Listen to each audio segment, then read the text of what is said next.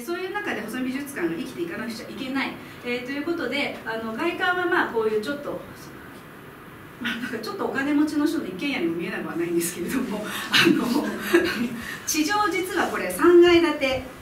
ね、ここが一応あの町屋風のこうちょっと格子戸があってですね。でこのちょうど壁の反対側に受付があるんですけど。でここが2階。で2階は基本的に我々がいる事務所しかないんです。なので、えっと、1階の展示室の要は天井が高いということなんです。で3階。ここにちらっとガラスが見えると思うんですが、えー、こちらがあのお茶室になってます。でもうちょっと見ていくとこれ展示室の様子。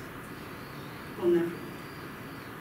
ねえー、それから、えー、地上3階地下2階になりまして、えー、地下にはですねこういうちょっと吹き抜けになってる。要はねこの辺ってあれなんですよ。高さ制限があるので上には作れない。ので、えーと、下に作ろう。ただ下に作るっていうのは、えーまあ、美術館の横には疎水も流れてるんですけどもあの湿気の問題とかねもあったりする。えー、そういうことを、まあ、いろいろクリアしなくちゃいけないというのと細見ができる、えー、ちょっと前直前にですね阪神・淡路大震災があっていわゆる地下構造の方が作品がいわゆるあの壊れる。頻度非常に少なかった。あんまり壊れなかったということもあっていわゆる地下構造もある程度こう認められるようになった。あとはその湿気というものを、えー、いかにクリアするか、まあ、あとうちに先ほど言ったように疎水があるので実はこの B に、えー、地下2階のさらに下になんか50メートルぐらいあのプールのような箱があってもし疎水がこう溢れてもその下にどうも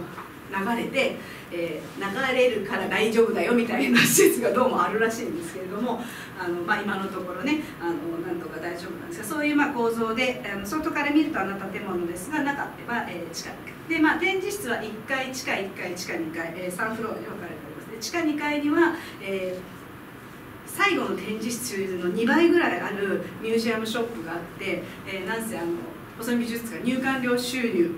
で頑張らなくちゃいけないので商売も少し頑張ろうということでですね、えー、ミュージアムショップこんな感じでちょっとねあの盛り上がりしてますけど、えー、それから同じミュージアムショップの、えー、横の方にですねアートキューブカフェというカフェがあります。ねえー、そしてさっきごめんなさい、えーと、ここですね。3階がお茶室。あのここにちょっと水をね貯める時もあるんですけどもここは通常のお茶室より非常に広い、えー、ところ。でまあいわゆるこういうふうにあの20年前に、えー、展示室以外にミュージアムショップとカフェとお茶室があるっていう施設っていうのは実は意外と少なかったんです。今あの東京の例えばサンプリ美術館さんとか美術館さんとか、えー、そういう私立の美術館さん、まあ、脅迫さんにしても、えー、何？唐船屋さんとかこういろいろ喫茶店が入ったりとかねミュージアムショップも便利堂さんっていうあのとかいくつか、えー、会社があの経営したりとかしてあのかなり活気はつい活気づいてるんですけれどもある意味保存美術館はまあそういう、えー、先頭を切ってたというか、えー、叩き台になったというかっていうふうになってます、えーまあ、そういうふうにしてあの少しでも滞在時間を長くしてで、まあ、細井美術館っていうのがどういうところであるのかやっぱ印象付けたいというのがまあ一つあの、えー、館長、えー、それから当時の理事長なんかには思いがありました。ねまあ、こんな、えーと、美術館は、えーと、じゃあどんな作品を持っているのかということになるんですけど、えーと、これが細見さんの、えー、いわゆるその作品を収集する上での、えー、と最初のね、方、まあ、いわゆる細見美術館一言で言うと細見家3代が収集した美術品を、えー、収蔵する、えー、美術館ですと、えー、で細見亮さんという現館長のおじい様に当たられます。ねあので、まあ、彼はもともと兵庫県の今のいわゆる、えー、新温泉町と呼ばれている浜坂町旧浜坂町っていうところの出身なんですけど、まあ、10代のうちにあの電池暴行に出て大阪の電池暴行に出てで、えー、いろいろ経験して最終的には毛織物業で財をなす。で、えー、大阪の泉大津というところで、まあ、大きなお屋敷を持って、えー、である程度もあの授業が軌道に乗った時にはもともと好きだったその美術の世界特に彼は仏教美術が非常に好きだったんですね。で自分でもこう水墨面なんか描いたりして、えー、でまあなんでこういう話をするかっていう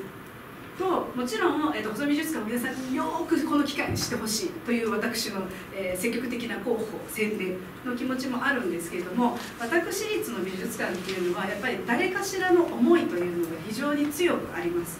ね、住友さんであったら住友系の、えー、当主含めですねそういう方たちが一生懸命大事にしてきたものがあるとか、ね、やっぱりそういう意味では、ストーリー性もあるし、ね、やっぱり誰かが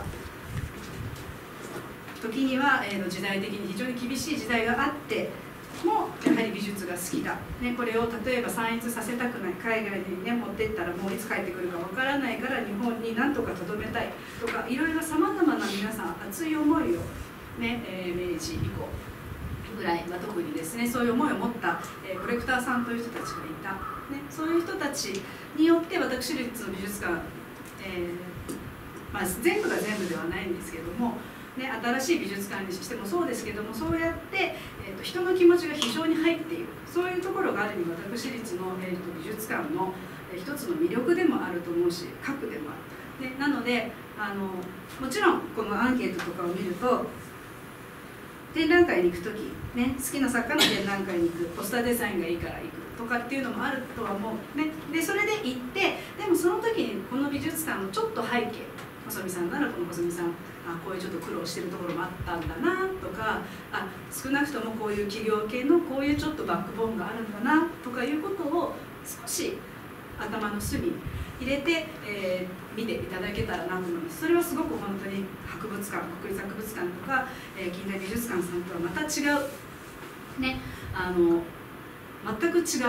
えー、部分になるので一つ特徴だと思うので、えーと、ちょっと知っておいていただければなと思います。でまあこの、えーと、細見さん羊の研究をしたね、毛織物業のあのデザインをなす人なので一生懸命ですねモンゴルに行って羊をね研究したとかですね、えー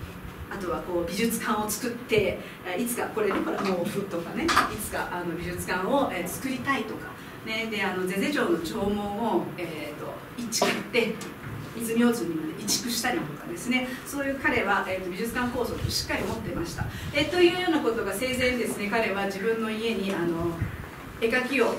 投入させて自分の一代記みたいなのをですねこう書かせているんです。でまあ泉大津のこの、えー、これがですねいわゆる今の、えーと、細見家本家のあるところにこのゼゼ城の縄文があります。あのここはあの外からでも見れますのであの場所とか知らなかったら多分あの泉大津の市役所とか、えー、聞いたら、えー、一応基本は分かるようにはなっているんですけどもね、えー、こんなふうにして、えーと、今もここには、えーと初代の初代のお子さんが1人だけだったんですね、まあ、時代的にはちょっと珍しいなと思うんですけど1人息子さんがいらっしゃってでその1人息子さんというのが、えーと、その美術館の初代理事長であったんですけども今の館長のお父さん。でその方がもうちょっと数年前亡くなられて今はその奥様で現理事長、えー、館長のお母様が、えー、今こちらのお家の方には住んでいらっしゃいます。でまあ、あの、先ほどのココアンさんという人は基本的にやはり仏教美術が好きだったこういう宝具とかね、それからこれはあのちょっと不思議なすみません。キャプションは時々無視してください。あのこれは重要文化財のあの春日新六美少隊という、えーと、年明けからだったかな東京国立博物館であの春日大社のあの特別展が開かれますが、えーと、そこにこの作品あの通期展示で今だから東京に行っておりましてあのちょっと当館でも見ていただくことができないんですけどとかあのこんなふうな、えっと、普賢菩薩えー、寄贈像、えー、の絵ですね仏教絵画、えー、それから、えー、ココアンさんという人茶の湯釜。あのお茶をずっとやってたから釜が好きお茶碗が好きではなくて彼は非常に鉄というものに対してあの鋭さあの緊張感、えー、というものが先ほどのあの密教法具とかも含めてなんですけど非常に、えー、そこにですねあの美というものを求めていてでいわゆるこの芦屋っていうのは九州の芦福岡、えー、まあ本当北九州寄りなんですけどそこで、えー、鎌倉時代、えー、以降作られててもう江戸の初めにはもう衰退してしまうんですけども、えー、使われたこういう茶の湯釜を、えー、彼は非常に気に入って、えー、ずっと収集していました。あのココアンさんあの細見亮さん、えーまあえー、ですね語はココアン古いという字に香り匂いを嗅ぐ香りですねにいおりでココアンさんですがココアンさんは非常にですね このシアガムが大好きであの今でこそ重要文化財1点だけですけれども多分、うん、たくさん、